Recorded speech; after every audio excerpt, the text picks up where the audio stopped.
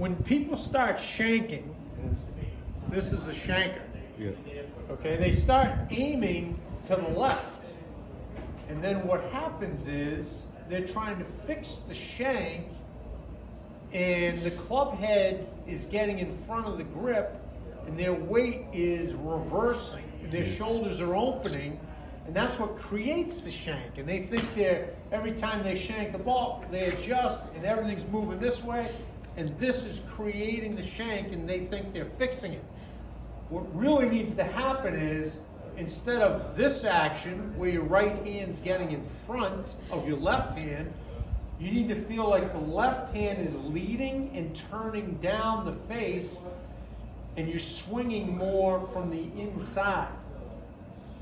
Okay, so if you're an open face slice shanker, you can also be a closed faced shanker, but that's a different story for a different day.